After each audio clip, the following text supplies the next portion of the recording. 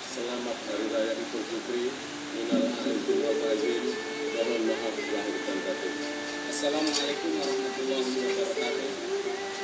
Atas nama tokoh masyarakat sini selaku Kapek kegiatan sholat